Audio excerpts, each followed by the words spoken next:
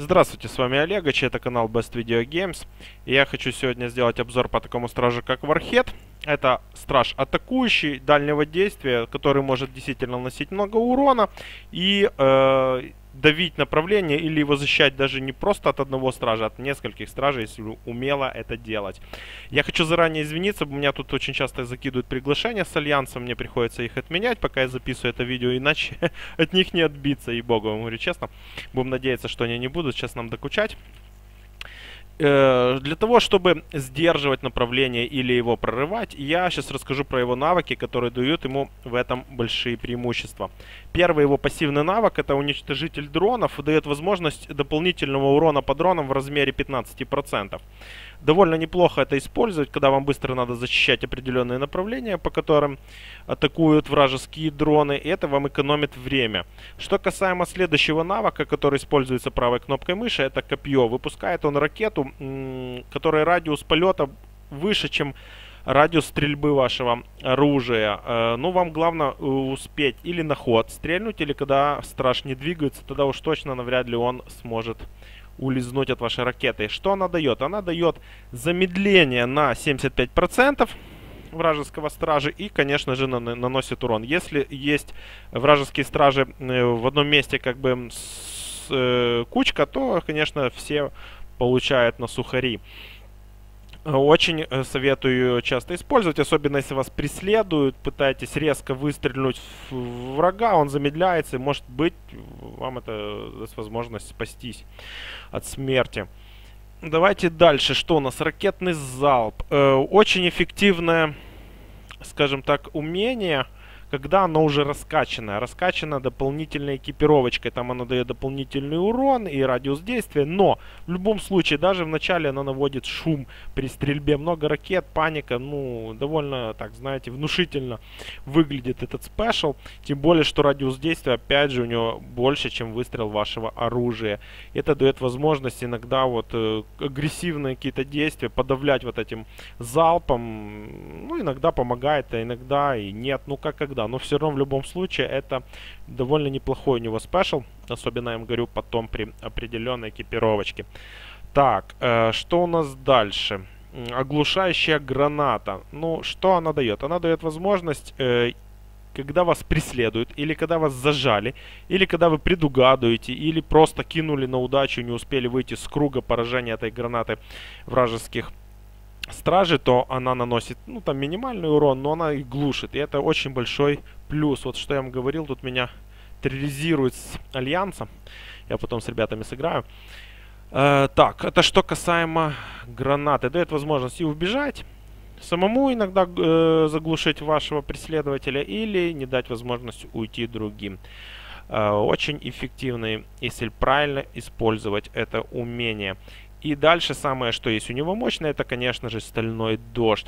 Он выпускает 4 ракеты в заданную точку с большим радиусом поражения, но при этом я хочу вам определенно э, подчеркнуть, он не двигается в этот момент стрельбы 4 ракет. И в этот момент он действительно просто беззащитен. И кто умеет хорошо это предугадать, Вархет может просто не выжить после этого залпа. Поэтому надо с умом делать это, понимая, рассчитывая, увидя, какие у вас противники. Если сильные, то очень издалеку пытаться это делать. Или в тот момент, когда их давят, или заглушили особенно очень классно. Но если вы как-то один или вы отступаете, и запускать эти ракеты очень чревато для вашей жизни. Вы просто не уйдете. Вас замедлят и убьют, и, или вообще даже 4 ракеты не успеете выпустить. Или отключат, там куч, куча всяких вариантов может быть. Потому я советую быть аккуратным с этим спешалом. Он мощный, но надо э, быть предусмотрительной. Потому что Валькирия кинула эти 4 ракеты и ей насрать, она побежала.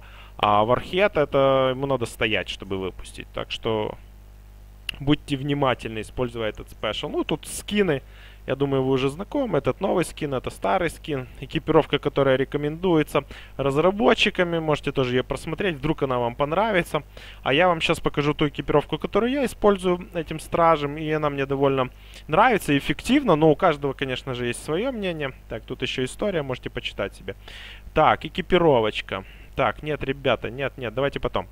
Так, э, смотрите, на... А, я предлагаю, конечно же, взять гармоническое Динамо. Ну, дает возможность плюс к регенерации. Потому что если вы долго живете, а на нем можно долго жить, и постоянно интенсивно давите спешалами ракеты или залпом ракет, у вас довольно быстро иссякает энергия. И иногда вот этот момент с помощью этой экипировочки может вам дать какой-то бонус.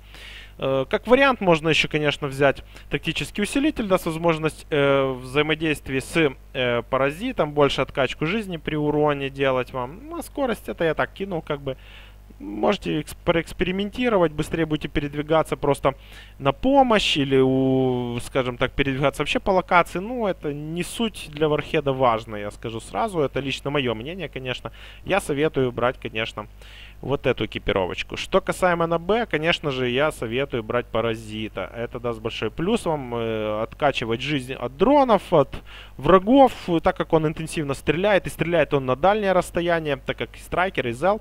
Он э, на большом расстоянии может откачивать, держать врагов постоянно под обстрелом. Ну, я тут еще прокачал у него спец э, экипировочку. Это кластерные бомбы, дает дополнительно 90 единиц урона шрапнельную бомбу тут закидывают. Ну, я считаю, что паразит лучше. Но вы можете, опять же, комбинировать, как вам удобно. Можете и вот эту попробовать поставить. Кластерные бомбы, вариант экипировки. Дальше, В. Я поставил шрапнельные снаряды. В пассивном режиме множитель урона оружием на 10%. Это э, основные атаки, тем более, что позволяет наносить дополнительный урон, потому что он основными атаками довольно часто пользуется. Это его очень хороший плюсик Вархеда. Ну, как и Страйкер, опять же, тоже пулеметит во все стороны. И 10% плюс это неплохо и приятно. Так, есть вариант, конечно, как пассивный режим, э, сотрясающая волна. Копье замедляет на еще 0,7 секунды. Может быть, это тоже неплохо, я как-то пробовал использовать. Не сильно чувствуешь, потому что бой интенсивно идет, 0,7 секунды это небольшое время. Иногда, может быть, оно дает какой-то прирост для убийства или нанесения больше урона. Но я склоняюсь к тому, что лучше брать вариант шрапнельные снаряды. Что касаемо Г, это, конечно же, однозначно я ставлю воздушный залп. Э, дает возможность радиус взрыва на 50% ракетного залпа увеличить, а это очень классно, я вам скажу, заденет по-любому каждого. И каждый враг будет просто очень рад этому. На D я советую однозначно брать увеличиваемый бонусный урон залпом ракет на 75%. Учтите, почти в два раза. Это очень круто. Я вам говорю честно, я залпом где-то до полужизни сносил стражу. Ну, я не говорю там какому-то стоперу бешеному, обычному. Атакующему пол жизни этим залпом только так сметает. Или кого-то добить, который убегает. Нефиг срать можно. Заглушили, стреляйте с автомата, резко хопал залп, ракет на ешку и смели его просто подчистую. Есть вариант тут, конечно, э, взрывоопасное ядро оглушающий. Действие на 50% радиус увеличивается. Ну, залп, конечно, круче. Ну, опять же, можете экспериментировать. Но я советую, конечно же, улучшить ваш ракетный залп. Э, что касаемо на Е, я советую криогенные снаряды. так как вы основными атаками довольно часто пользуетесь, цель можно замедлить на 18%. А я вам скажу, это существенно. И даст вам большую возможность постоянно сдерживать некоторых стражей ну, от побега, тем более, что вы далеко стреляете. Но есть еще, конечно, вариант экипировки как усилительный ствол. Это и при... Основная атака увеличится, когда вы используете навык. Именно после использования. Оно может и накапливаться многократно. Тоже неплохая э, фишечка, я использовал ее пару раз. Ну, может, так и не чувствуешь этого увеличения урона, как бы, но тоже неплохо. Потому что бой постоянно идет в движении, стреляешь, это не успеваешь за всем этим уследить, там какой урон чуть-чуть больше, меньше. Но главное, что убиваешь противника. Вот это основная задача. И как вариант последний кинул, ну, после использования навыков, там, враг может загореться, там, нести ему какой-то определенный урон. Ну, я советую, конечно, замедлять цель. Это вам даст больше преимущества в бою. И для команды тоже даст большой бонус, э, потому что вы будете замедлять цель, и, конечно же, ваши сокомандники смогут ее добивать. Ну что ж, это я хотел вам то, что я хотел вам рассказать про Вархеда, то, как я им играю, то, какую экипировочку я использую. Хотите, поро, пробуйте, пишите в комментах, понравилось, не понравилось. Опять же, это лично только мое мнение. У вас может быть и свое мнение, как лучше экипировать этого стража. С вами был Олегович, это канал Best Video Games. Ставьте лайки, подписывайтесь на канал, оставляйте свои комментарии. До встречи!